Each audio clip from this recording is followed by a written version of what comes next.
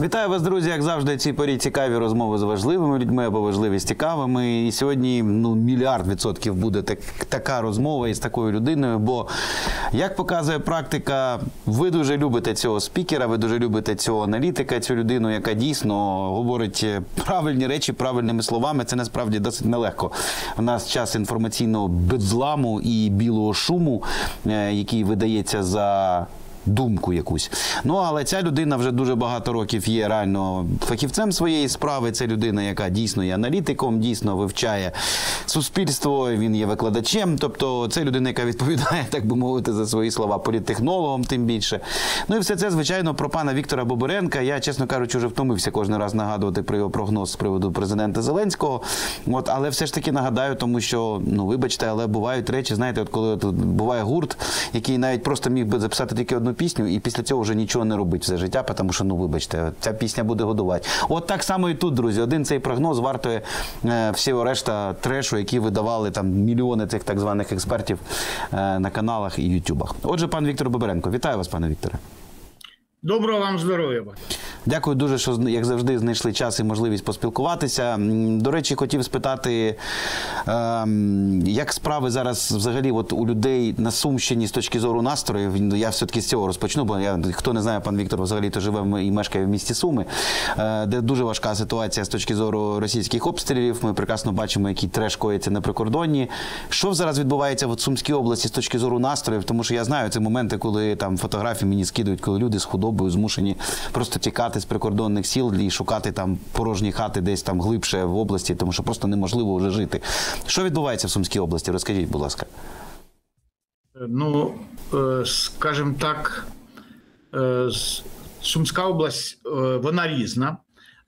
І я от буваю в громадах, які називаються прикордонними. У нас 20 громад які фактично прифронтові. Те, що було прикордонні, тепер прифронтові. Да?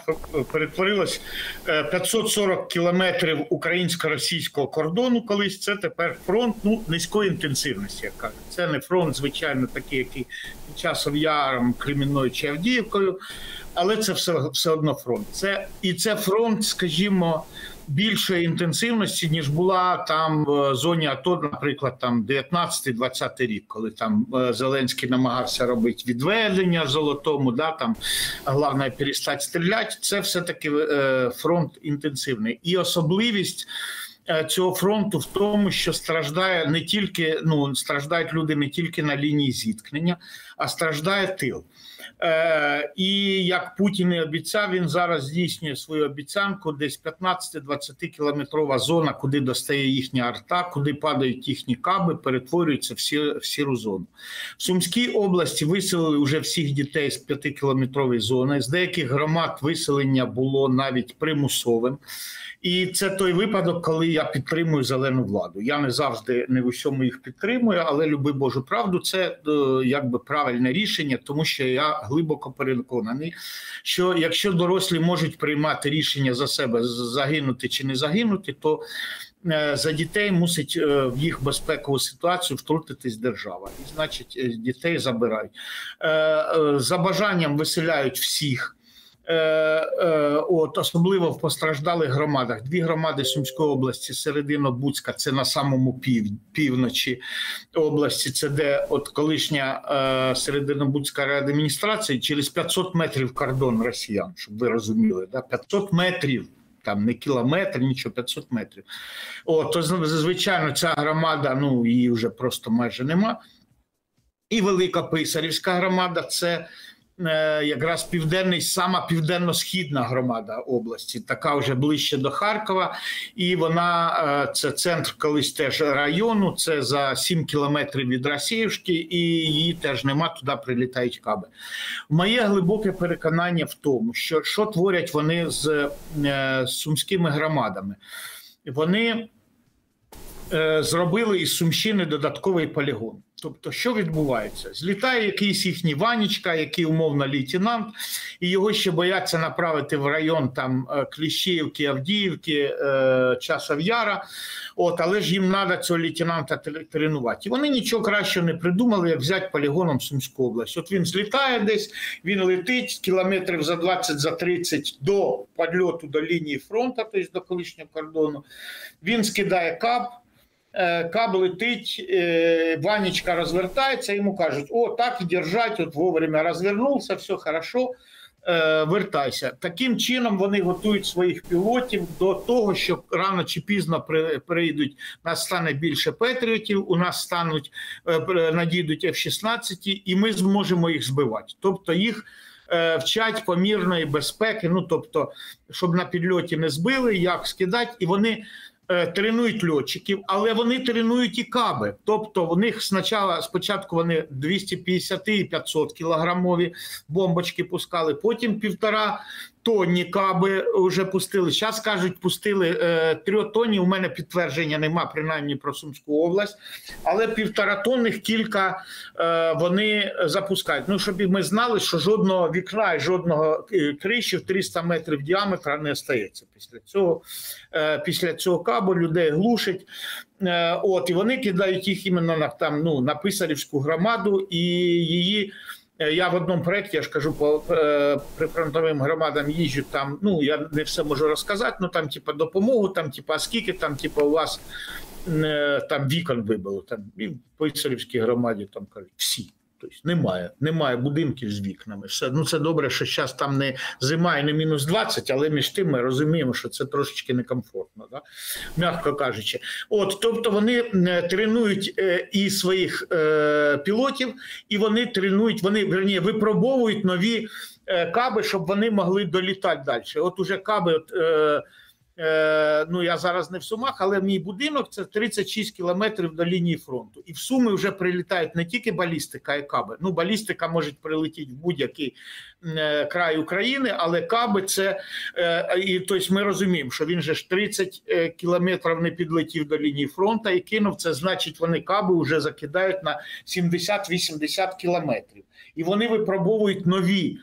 Е, каби. Якщо там поки що до Сум долітають тільки малогабаритні, там 250 кілометрові, ой, 250 кілограмові, да, то, але ми розуміємо, що вони тренуються, е, верні, випробовують, щоб ну, далі, да, далі да. вони летіли щоб далі летіло. От таким нехитрим способом. Плюс, наприклад, їхню якусь бригаду потрьопану з Півавдіївки, з під Авдіївки вивели. Е, умовно, там половину арти їхньої перебили, половину е, батареї перебили. У них там умовно залишилось із 100 людей на батареї 30. Що робити з цими 30? Треба поповнювати і треба тренувати. Да? Тобто в е, артилерійські обслуги дали нові їм е, міномети чи гармати е, привезли новобранці. Вони якби теорію знають, треба десь потренувати. А куди тренувати? Або е, на полігон в Ростов, або ще краще. Е, а давайте вивеземо їх в Сумську область. І От вони е, стають і вони вчаться міни кидати, снаряди, ну сипать снарядами, тобто стрілять. Вони таким чином і свою арту готують на на кому на мешканцях Сумської області. Якщо це не фашизм, я не знаю, як це назвати. Тобто констатуємо, Сумська область стала для противника полігоном для його навчань і для випробувань е, ну якихось там технічних їхніх засобів. От чим стало. Ну плюс ДРГшки е, працюють, і це додатково, щоб створити створити. У нас у всіх е, е, ну, умовне уявлення, що тут можливий новий наступ. Через іпсошки вони це теж пхають, що там, типа, все. І от я по сумам іду, люди, які часто думають, що я обізнаний краще, ніж інші, там до мене підходять. Так що, Вітя, будуть наступати? Уже коли? Завтра чи післязавтра? Я розказую що людям, що це.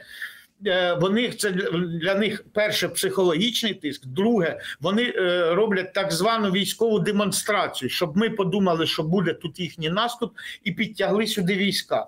Да, їх тут уже більше. Їх там спочатку казали ну за різними джерелами, що там їх 20 тисяч угрупування біля Сумщини, біля кордонів. Що тепер там уже 30, що їх побільшало. Я згоден, що можливо і побільшало, тому що ще раз вони на злагодження виводять війська на малоінтенсивну війну. Да? Е, От, і тренуються на нас. Але е, для того, щоб їм тут вжарить по сумам, або там умовно, чому Велика Писарівка? Тому що з Великої Писарівки фактично їм з Грайворона навпростець в тил Харкову да, перерізати трасу Суми Харків і там е, працювати на комунікаціях Харкова. Воно якби проситься. Але я вважаю, що це теж це всього лише демонстрація. Тому що якби б вони перекидали сюди справді війська, це не можна не помітити, тому що перекинуть одну механізовану бригаду або полк, да, де є танковий батальйон, а це 20 танків, а плюс там ще е, механізовану піхоту, це купа машин, плюс танкам цим теж підвозити треба і хавчики, і снаряди.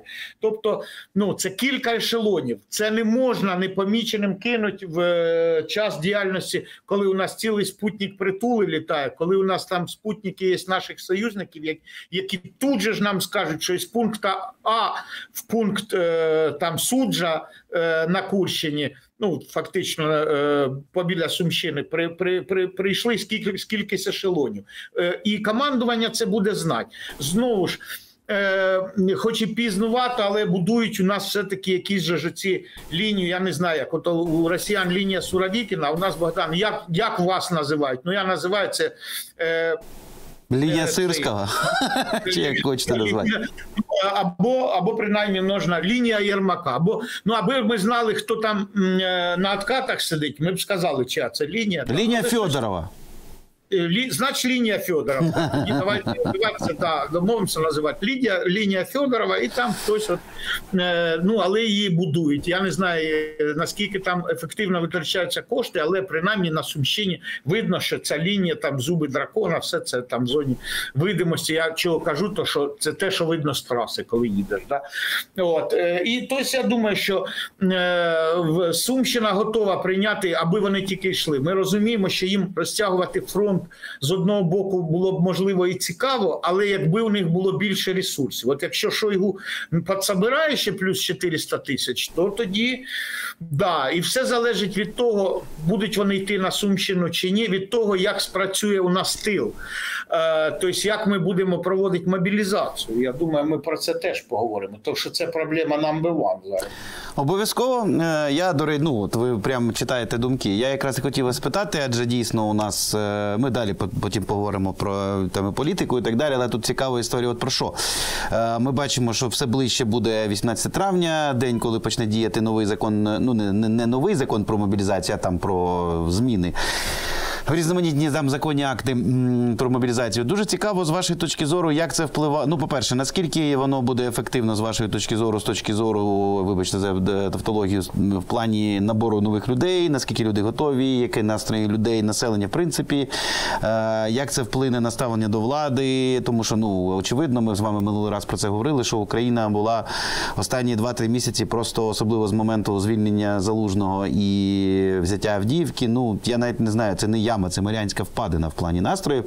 Ну, Зараз ніби стало трошки покраще, хоча б тому, що просто неможливо постійно в такому стані бути. Плюс американська допомога. Тьфу-тьфу-тьфу.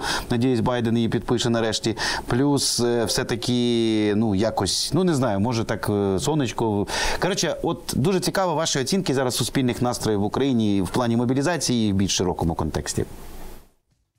Е, саме головна для мене неприємність в тому, що офіс президента все-таки відпетляв від цього законопроекту, і шишки зараз вішають на ТЦК. ТЦК і ТЦКшники зараз е, ненависні люди е, для більшості. І ми бачили, от громадське показувало сюжет, що коли десь зупинили і заблокували ТЦКшники водія і хочуть йому вручити поїздку, він не бере. І бабушки при, при, прибігає якась бабушка і приносить йому каву, там синок, держись, держись, а а на цих жене. Хоча е, в сюжеті там це е, поранені, які на відновленні, ну е, їх е, ще не можна на фронт послати, їх вони ну там, де можуть е, згодитися, їх направили в ТЦК. Тобто ветерани виходять погані, а той, хто косить, молодець. І це тобто, десь ми десь ми не туди пішли. Е, Я, як людина, яка дуже добре добре знає історію, я вам розкажу кілька прикладів, коли сипеться суспільство, е, і коли е, поразка. От е, Британія і Франція в 40-му році, коли Черчилль, я в, е, його мемуарах читав, коли він прилетів, вже уряд поїхав з Парижа. Е, І він відвідав с- ес- ескадрилью британських льотчиків, які були ну там південніше Сени. І йому льотчики сказали, що е, французи перекривають взльотку, щоб не дати нам злетіти. Типа, блін, летіть в Англію, там, типа, не летіть бомбить, то, що вам прилетить, це не наша війна, там, типа, це ваша війна, все, йдіть відсюди. Тобто суспільство готове було здатися тоді, коли е, військового не те, що е, не поважають, йому кажуть геть звідси. Е, і це вже поразка. Тобто це суспільство, яке програло.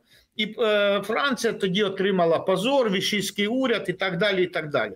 То я коли а ще мені ТЦКшник, друг розповідає, що там, типа, Вітя, я вручаю повістку, нам вийшов баріста покурити ну, з торгового центру. Я каже, і, і, і, теж теж ТЦКшник, ну, е, ну це не якби не мажор, який, який влаштувався. Це ну конкретно військові з військовим досвідом, поранені там чи тимчасово приписані до ТЦК. Розумієте, це не мажори. От і йому там баріста якийсь виходить, такий, який ну там амбал підтягнутий, там такий мишця вся кругом каже: Я не візьму повістку, то що це ти мені даєш білет на смерть і проклинає там, типа, це не моя війна. Там, типа, так я ж там, типа, поранений на війні, а тимчасово тут. І йому кажуть там, типа, значить, ти плохо воював, якщо ти тільки поранений. Якщо б ти хорошо воював, тебе б убили. От, і це, і це 27-річний е, людина, яка каже, там це не моя війна, і значить, ми вже на крок близько до поразки. І в цьому я звинувачую уряд Зеленського. Чому? Тому що е, коли у нас дві справедливості на світі, а у нас справедливість, от дивіться, як у нас справедливість. У нас е, дві мами. Умовно, яким е, вони живуть в одному під'їзді, там неважливо в Києві, чи в Сумах, чи в Вінниці, да? в одному під'їзді на одній площадці, ну і в обох є сини. У одній сину 30 років, він два роки тому пішов добровольцем на війну. От йому тоді умовно було 28, у нього була класна професія, він класно заробляв там в Києві чи в Сумах, там все. Але він кинув все, пішов воювати. І мати тепер каже: покажіть мені в законі про мобілізацію, де мобілізацію, коли мій син повернеться. Хай окей, це буде через 3 роки, ну 36 місяців, хай через 4, але скажіть конкретно, коли у нього дембіль. От і вона вважає закон несправедливим. Чому? Тому що не прописано, коли вона побачить е, сина, коли у сина дембіль. А поруч мама, у якої сину 25 років живе, да? і е, тепер, згідно закону, його мусять призвати. І вона каже: несправедливо, тому що мій син не мусить іти воювати. А хай йдуть воювати ті, хто вміє воювати. І ми маємо дві справедливості. А ще, якщо взяти справедливість, є там, типа, хтось скаже: Стоп, а мені не можна йти воювати, тому що я спеціаліст, у мене бронь. Да? А ухилянт скаже: А я не мушу воювати, то що хай перший піде воювати Женя Кашовий. От після Жені я запишусь в батальйон до Кашового. А ще плюс мажори ті, ті, ті, ті, ті, ну всі, всі мажори. От, якщо в місті мажорів там не так і видно, ну то в селі, от я був у родичів на жінки на західній, да, коли ми, ми приїхали туди, і а мені кажуть, що от дивись, Вітя, От всі воюють, але не воює син голови, ну голови громади. А ще отут мужик він тримає три магазини, то не воює його син і його зять. А ще там у того бариги, який перевезенням займається, а у нього теж є і син, і зять, але е, зять е, не служить там, типа е, на грижу отмазався, а син служить, но е, десь дінщиком там, ну в общем, ну нереально воює. Да? І от коли люди бачать несправедливість, і у них теж своя правда, своя справедливість. І ми бачимо суспільство, яке розколюється по точкам зборки. Да? Там, хто мусить воювати, хто не мусить, де справедливість. А українці ментально цінять справедливість вище за право. Вище за право. І тому в ідеальному суспільстві мусить вийти лідер нації, яким себе називає Зеленський. Він же ж найвеличніший лідер сучасності і оголосить свою версію, що ж буде справедливо. Тому що я, звичайно, не лідер нації. Е, Але десь, якщо як лідер громадської думки, то я думаю, що до ухилянтів треба приміняти більш жорсткі методи. От і е, лишати їх не тільки там транспортними засобами управляти, а карточок. Ну, в общем, їм створювати труднощі і перепони. Е, Максимально. Але Володимир Олександрович казав, що ні, ми проти того. Ми взагалі, і він взагалі відмазався. Він ніяк не коментував. Він все звалив на військових, що це їхня якби проблема.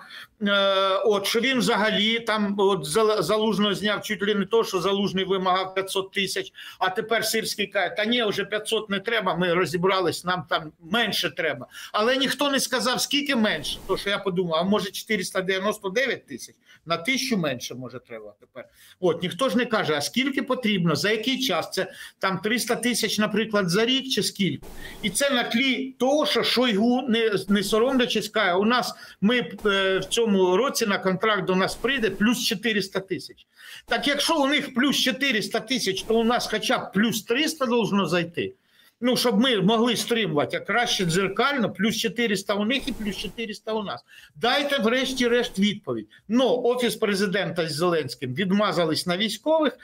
Тепер е, саме ненависна категорія. е, От у нас теж парадокс. ЗСУ найбільше довіряють, ТЦК найменше довіряють. Хоча в ТЦК зараз кругом служить. От е, Сумський обласний ТЦК очолює офіцер, який був поранений, який має там ну інвалідність, ну власне там погано там з, з рукою. І, і що? Але він бойовий офіцер, його прислали, тому що він поки що не може воювати.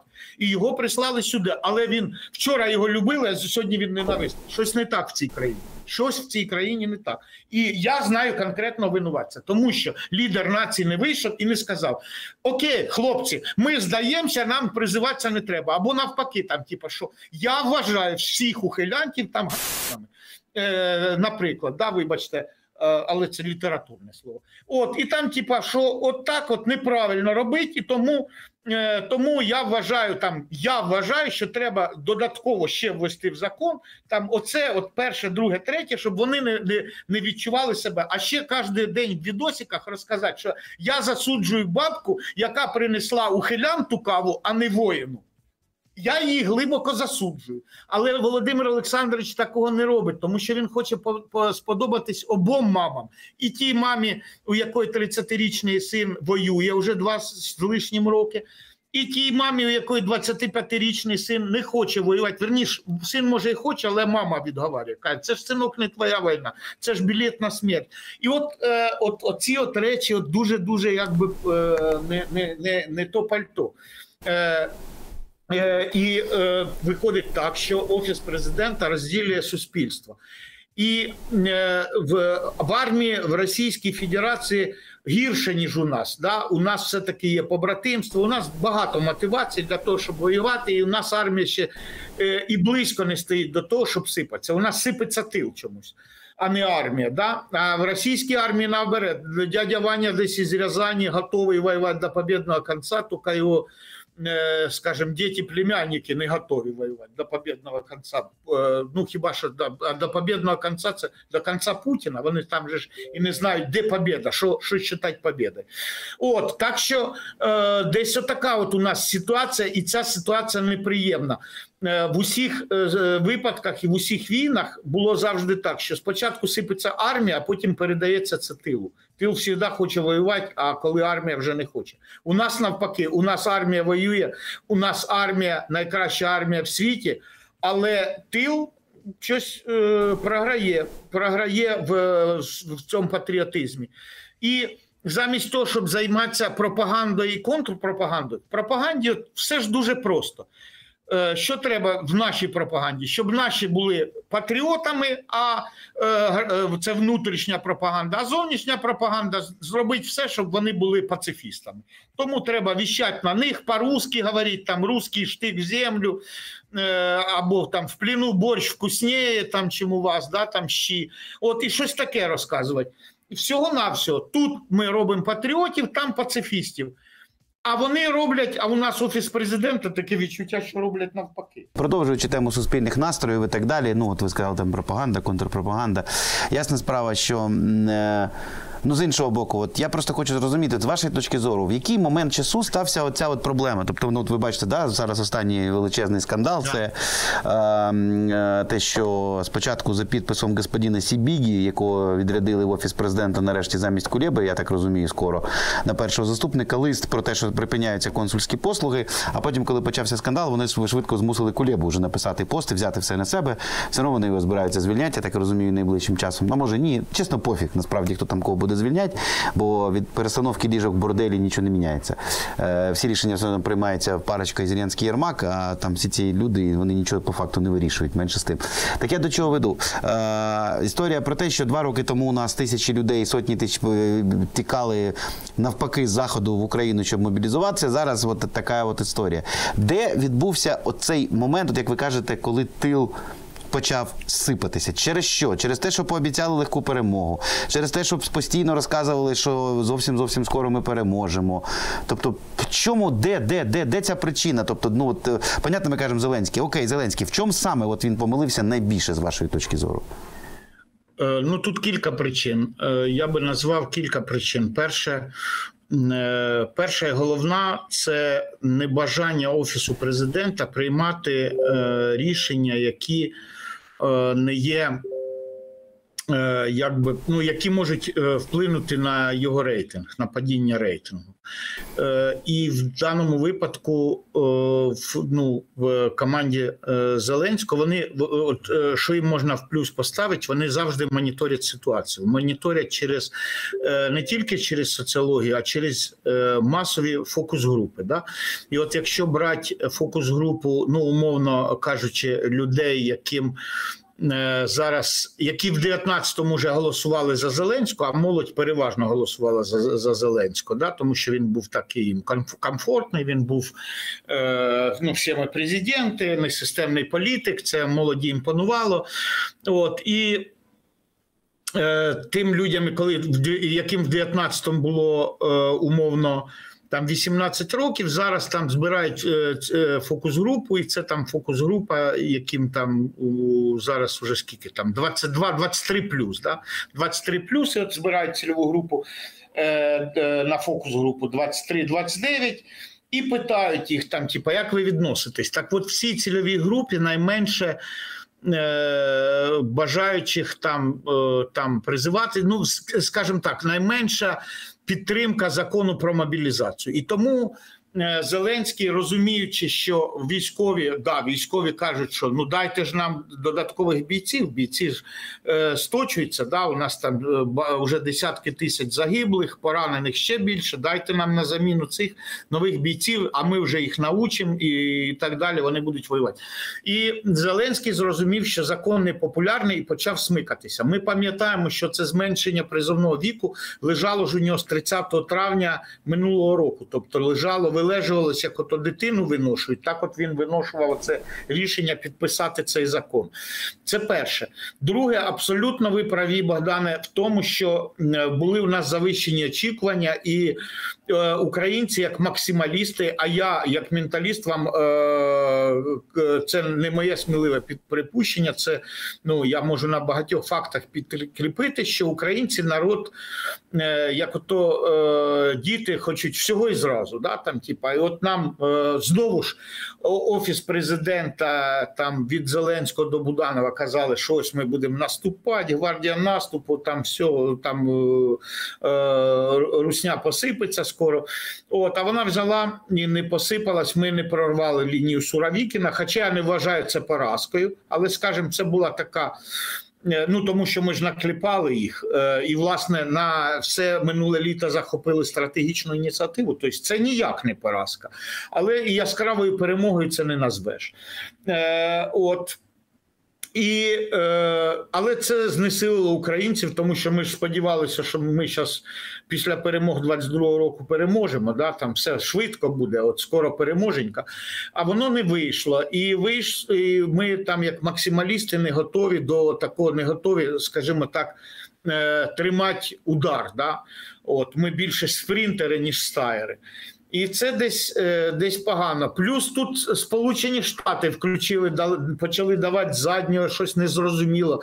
І це у нас не розчарування. І у нас знову ж українці е, справедливість для них це основна е, понятійна категорія, і вони вважають несправедливим. Ми тут відбуваємося за всю цивілізацію, а там, блін, закусились Трамп і Байден, республіканці з демократами. Ми причому до ваших там цих там дайте блін нам ресурс, щоб нам відбиватися нічим. І це якби ще своє дало. Тут Європа виявилось, що там Європа, наче і згодилась допомагати, але в Європі економіка в 12 разів сильніша. Ніж російська, але по снарядам цього не видно, тому що е, пацифістська Європа не готувалась до війни, і це тільки Путін розказував, що тут злосна НАТО хоче там переботити святу руську землюшку. А е, нормальні людини, маломальські обізнані, розуміючи, що в 12 разів економіка Євросоюзу більше ніж російська, і, і отакий вихлоп. Тобто по снарядам нам це не видно по нашому снарядному голову. І оці багато накладок, які а тут ще поляки нам взагалі, Ми тут в 22-му році вважали, що це наші найбільші е, найбільші союзники. Вони там нам ляпнули е, теж, от е, звідки не чекали з цим зерновою з цією кризою. Тут, блін. Орбан там е, наш якби мав сусід будь згадати про е, Будапешт 56-го року, та й 44-го теж. От а, а він підігрує Путіну. І оце все наклалося. Куча, куча всіх цих факторів наклалося, що у нас народ затужив. От і знову ж ви абсолютно правий, що зараз. Е, Коли у нас стало ясно, що у нас бюджет уже все, ми витримаємо, бюджет витримає, зараз почне надходити допомога.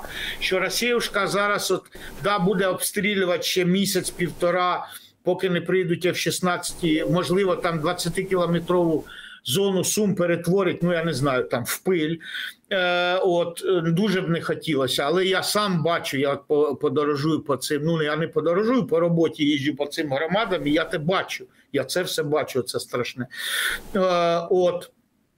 І це звичайно печалька, але це останній, е, так, так би мовити, великий наступ Росіюшки, який почнеться умовно там всередині літа. І якщо він до осені здується, то все е, Росія втратить стратегічну ініціативу, і вона знову перейде до нас, там я не знаю, зимою чи наступної весни, але це точно останнє наступальне літо для росіян.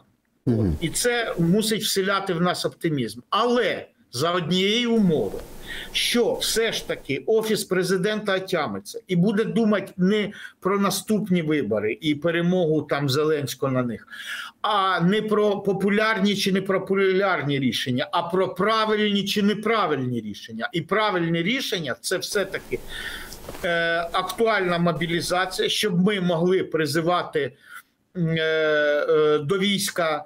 Е, Ну, е, той потенціал, який є, призивати новобранців, щоб їх навчали, щоб вони поповнювали військо і працювати на зовнішньополітичному фронті. Знову щоб ми мали дуже багато різних ресурсів, різноманітних, особливо військових, для того, щоб не тільки стримувати росіян, а і переламати їм хребта, щоб вони нарешті зрозуміли, що війна безперспективна. От е, в їхньому плані. Понятно, що вони будуть воювати, поки не зрозуміють, що там в Штатах. Да, переможе Трамп, не переможе. Якщо переможе, чи е, підтримує, чи сяде на е, ну як вони ж ду- дурень думкою багаті. Путін думає, що е, почнуть домовлятися Путін і Трамп без України. Да, там, типа, Україна буде за дужки винесена. Ну так понятно не буде, але дурень думкою ба- ну, у Путіна стратегія взагалі погано, е, і це, це добре для нас. Але між тим погано зараз ситуативно, тому що він думає, що там от час, що до нового року вони нас переможуть. Ну, понятно, що коню понятно, що цього бути не може, але він так думає. І знову ж, але і ще друге у них сподівання. Тобто е, я впевнений, що союзники наші під нас підтримують. Друге їхнє сподівання, що вони розхитають нашу лодку. Що у них тут вони будуть розказувати, вже їхнє ІПСО зрозуміло. Вони будуть розказувати, що хто молодець, що найбільший е, герой зараз не воїн, а ухилянт. І вони будуть нам продавати цю тему. І треба знати, що бабушка, яка ухилянту принесла каву, працює на Путіна. Ну, Це от точно Зеленський це боїться сказати, я ні. Ну, десь так. От, до речі, я хочу от у вас спитати. е, Це напевно ну ми ж всі бачимо цю величезну хвилю цього лайна. і Вже про це ніби офіційно заявили, що це російський псо, там я ухилянт, весела музичка, собачки. Там ну ми ну коротше, всі, хто сидить в клаці під назвою TikTok, і не тільки бачили це лайно і в телеграмі. Я до чого веду? От е, я повірте, в жодному разі не, не, не хочу там чисто політизувати всю історію, але знову ж таки, от ви сказали про те, що тил сипеться раніше. Я просто дивлюся на те, що відбувається у нас зараз по країні. Ну тобто, я такої ну, лютої дуже часто несправедливості, яка зараз відбувається під час війни, от саме з точки зору влади і її дії. От історія там з Червінським і так далі. Тобто, ти це дивишся, ти просто на голову не налазить. І от з одного боку. мотивує, да. От і з одного боку, ти понятно, всі розуміють, що треба воювати. Зараз не час для розборок, зараз не час виходити на якісь мітинги, там кого-то там знімати. Але з іншого боку, ти розумієш, що це ж якесь замкнене коло. Тобто, з одного боку, ти ніби хочеш працювати тільки на перемогу на війну, з іншого боку, люди, більшість з яких перебувають у владі, не маючи ніякого мандату виборного навіть на ці посади. Бо цих людей ніхто не обирав. Це призначені люди, лічне Зеленським і Єрмаком. І вони коять повний безпреділ. Ми бачимо, що по великому рахунку всі ну все вирішується по одному дзвінку з офісу президента. Ми, ми е, ходять вперті чутки, що зовсім скоро офіс президента почне величезну атаку на е, залишки там місцевого самоврядування. Познімають там всіх незгодних мерів, керівників облрад, секретарів облрад е, і просто вже остаточно забетонують країну. І от я розумію, що це ідіотське питання риторичне, але просто от які ви можете дати як досвідчена людина поради людям, як нам поводити, як пройти між цією стилою харибду? З одного боку, очевидно, що будь-яке збурення, будь-які проблеми будуть тут же використані і дуже ефективно, на жаль, російськими ПСО. З іншого боку, будеш мовчати, Владимир Олександрович зі своїми ефективними менеджерами остаточно нас укатають в асфальт, як в е, Орбанівську якусь Угорщину. І що робить? Е, ну, десь е, намагатися е, балансувати. З одного боку, я вважаю, залишаю за собою повне право критикувати владу, якщо вона діє неефективно, але дуже часто неефективність переходить уже в злочин, коли ця. Ну, це вже ну, це вже там не не просто там кажеш про них, що це дураки, це блін, там, типу, це вже злочинці. От і треба е, їх зупиняти, зупиняти, зупиняти, намагатися, але з іншого боку, роз'яснювати, давайте відділяти, давайте відділяти. Уряд е, від України, від нації, від е, держави. Да, там я люблю Україну і при цьому можу не любити уряд, який представляє зараз Україну. Е, а е, команда Зеленського навпаки намагається нав'язати фішечку. Що Україна це Зеленський, да, от як то знаменита Франція та я, да, Людовика 14, так е, і у Зеленського. І тому там, типа, що любиш Україну, люби і Зеленського. Та ні, стоп. Е, Давайте розділимо ці два поняття, з тим більше там офіс президента да, з легі- нелегітимним Єрмаком. Е, Я навпаки, от кажу, що українці ми переможемо, незважаючи на усі зусилля офісу президента і особисто Єрмака. Ми все одно переможемо. Як вони хай не стараються. Ми потім з ними розберемося, але потім, потім розберемося. Один із мотивів, чому вони хочуть утримати владу, один із їхніх мотивів, то що втрата влади для Єрмака буде можливо і втрата. Ну я сподіваюся, і втратою свободи. От там ми Вагнергейт ще згадаємо, і багато багато всього. Ці всі е, фішечки з підготовкою війни, і е, те, що зараз відбувається. Ну, все таке. От і тому. Е, треба е, шукати весь час баланс. Да? З одного боку, розуміти, що в країні війна, і звичайно ніякого майдану бути не може, але апелювати в тому числі до союзників. От е, е, союзники сьогодні видали на гора те, що там вони е, Дер- держдеп сказав, що єдиний марафон є там, типа там це шлях точно не демократичний. Це Ні, це визнали не просто автократичною да, історією, не демократичною. так, Це офіційний висновок марафон Держдепу. Це ніякого відношення до свободи слова Так. немає, і це дуже класно. І я е, сподіваюся, в тому числі, що і дослідження, і фокус групи, і експертні опитування, в яких я брав участь, і в тому числі в розмовах із послами і з іншими, де ми говорили, що єдиний марафон це зло, це зло. От це е, Україна, яка воює за європейські за цінності, взагалі за цивілізацію як е, поняття, да. а воює нецивілізованими методами. Да? Коли офіс президента собі е, кричить: ми тут за свободу слова отжимаємося в усьому світі, а самі свободи слова не те, що не дотримуються, а гнобять. От і тому це. Е, це вже не неефективність, це вже на межі злочину. І я дуже радий, що враховують думку громадянського суспільства. Тобто, поки що я один єдиний шлях бачу, це апелювати до е, наших союзників казати то по принципу дівушки виміть вашу мать. Там, типу, що шановні посли G7, шановні наші союзники, ну якось впливайте, вимагайте у Зеленського там, щоб він щоб його попустило, щоб вони а не так крали, б не так зажимали свободу слова, щоб вони не намагалися. Е, вдарити в спину ножем Збройним силам України, щоб вони взяли на себе, врешті-решт, відповідальність за щось непопулярне. Що якщо відбувається щось непопулярне в країні, що в цьому винувати не тільки там залужний і не тільки Збройні Сили України, а що в цьому винувати в тому, що у нас провал на дипломатичному фронті, це провал офісу президента і особисто Зеленського, в тому числі, що у нас закон про мобілізацію прийнятий через два роки після війни. Це законний провал офісу президента і особисто Зеленського. От і там, типа, і що, врешті-решт, зробіть цей закон. Він же ж вийш, вони ж видали його кастрованим. От, а ви зробіть його реальним. Тобто закон прийнято, але вносите в нього зміни. І голосуйте зміни знову, щоб ці зміни реально привели до до можливостей, до якихось наших можливостей. Тому що от елементарно тільки три віка зараз, да, 25, 26, 27 років. Е, три ну, вікових групи.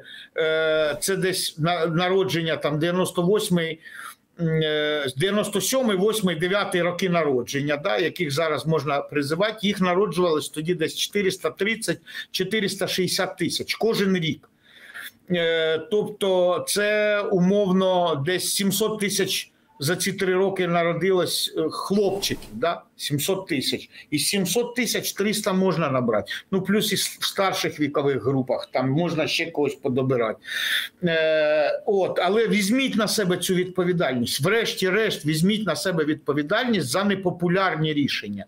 Це да, це якраз подвиг політика, подвиг солдата іти. Е, вмирати, подвиг генерала заперечувати начальству маршалом або верховним главнокомандуючим, як як це робив залужний, а подвиг політика це приймати в тому числі непопулярні рішення, як це зробив колись Черчилль, як це робив Деголь. Ну куди їм до рівня Черчилля чи Деголя? Але ну, хоча б ну, хоч спробуйте. Спробуйте залишитись не у владі, а в історії. Ну ні, не виходить. До речі, пане Вікторе, е, от е, цікаво знову ж ну тут вже чисто політологічне питання, але не можу його не спитати. Дивіться, ну слава тобі, Господи, тфу, тфу, тфу. Такі є вже ця американська допомога. Ну зараз, коли ми зараз з вами прямо в цю секунду спілкуємося спілкуємося. Байден її ще не підписав, ну але я думаю, він її підпише, це вже очевидно.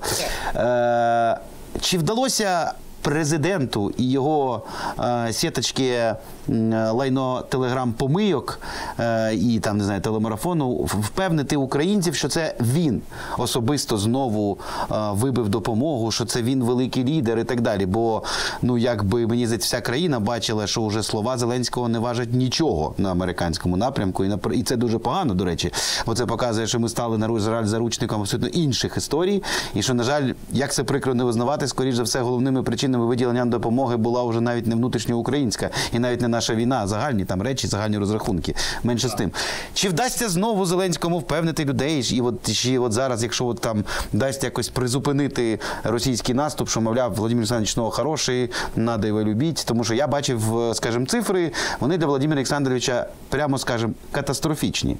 Чи є якісь варіанти, при якому він знов впевнить людей, що він найвидатніший лідер, його треба любити, він хороший. Тобто ТЦК плохое, але Зеленський то хороший. Е, Е, якусь частину суспільства все-таки їм вдасться вмовити. Ну от е, про про що свідчить хоча б те, що да, що Зеленський хороший, ТЦК плохой, тому що у Зеленського все-таки рівень підтримки, хоч і впав там уже менше 60, проте це все-таки все, все одно ще більше половини. Да?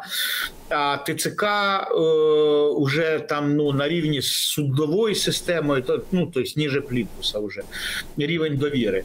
І це пряма робота офісу. Тобто вони стрілки перекинули. Так само е, треба розуміти, що вони перекинули стрілки. Якась частина наївних повірить і в те, що те, що нам дали допомогу, що це все таки Володимир Олександрович стукнув по столу, і Байден з Трампом злякалися і віддали допомогу нам. Але е, треба розуміти, що наївних менше і менше, тому, тому що наївність. Е, Дуже часто розбивається ну, або побут, да, Е, або там ну або здоровий глузд.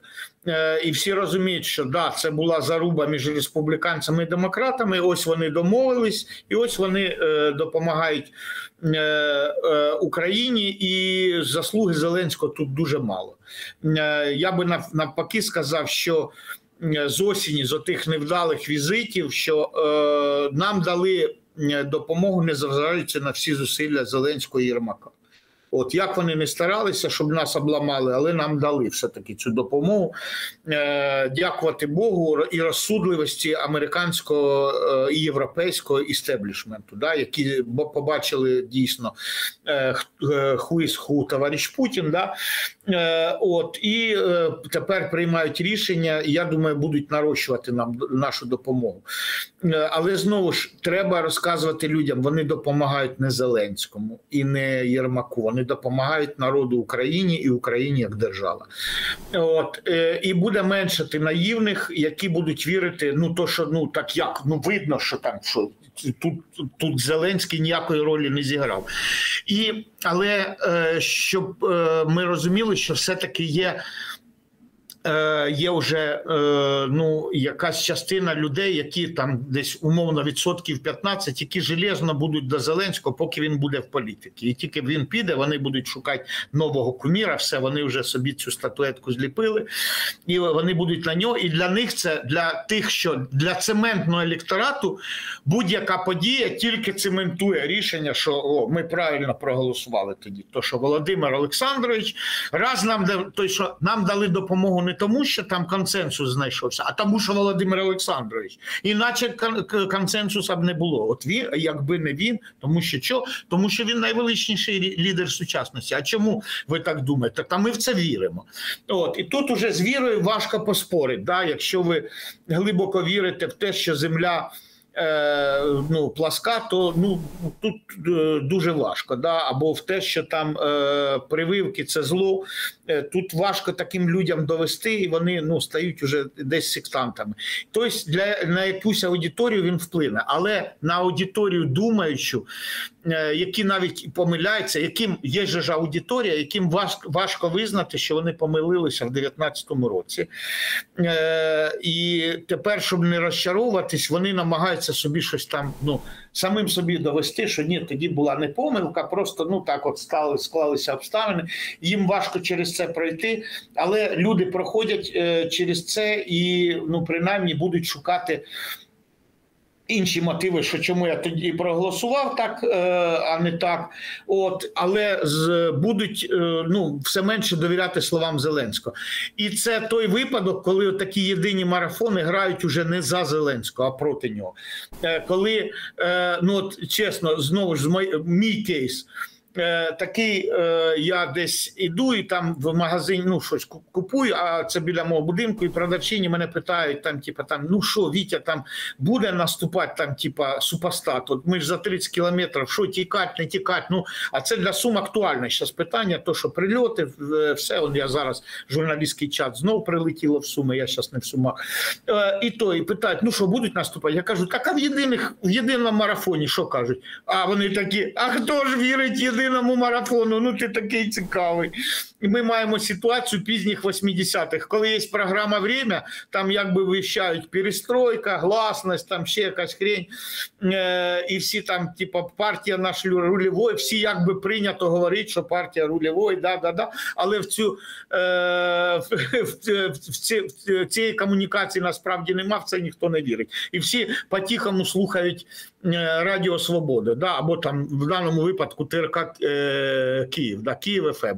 От Київ ФМ, да, там можна почути правду. А в єдиному марафоні хто ж, або як то в фільмі Кін-дза-дза, пам'ятаєте, як ну хто ж на глюки правду думає? Да, там, оце, оце тут. Хто ж там на єдиному марафоні правду каже? Тому ми питаємо тебе, а не в них, там, а не їх слухаємо. І вроді єдиний марафон дивимося, але довіряємо йому ну, в останню чергу. От і от, от це вже це вже це вже програш, інформаційний програш. е, Подоляка, от конкретно Подоляка. Тобто Міша загрався, і е, вони не знають тепер, що з ситуацією робити. Ну, що з тепер ситуація робить? Будуть робити те саме. Просто я ж кажу, напевно, от е, най, най от, темніший зараз час в тому сенсі, що дійсно ситуація знов дуже складна. А при цьому, коли ти дивишся на те, якими методами діє влада, і в багатьох моментах, ти просто розумієш, що ці люди остаточно втратили будь-який страх, бо вони вважають, що війна дозволяє їм прикрити будь-що. І кожен день ти маєш робити. спише. Да, і я просто, чесно кажучи, от це напевно найскладніша історія. І ви абсолютно праві, що тил сипеться швидше, ніж фронт. Хоча на фронті теж є величезні проблеми. і Люди теж вимагають абсолютно правильних, зрозумілих відповідей, про які ви теж сьогодні сказали. Якщо дуже коротко, от останнє питання, там у нас буквально хвилинка лишилася. Е, з вашої точки зору, е, от знову ж таки прогноз. Ви як людина, яка свого часу спрогнозувала, що Зеленський буде президентом. Черговий раз вас питають, то чи стане він президентом вдруге, після того, коли ця війна колись закінчиться і колись у нас будуть ці вибори? Е, ні Зеленського більше не виберуть. Е, Як би б не старався офіс президента, вони звичайно спробують розіграти просту е, карту, приблизно таку, як розіграв Путін. Тобто не пустити альтернативних ну, конкурентів. Да? От, не пустити на вибори залужного або дискредитувати, знову ж продовжувати дискредитувати там Порошенка, Тимош, ну взагалі всіх.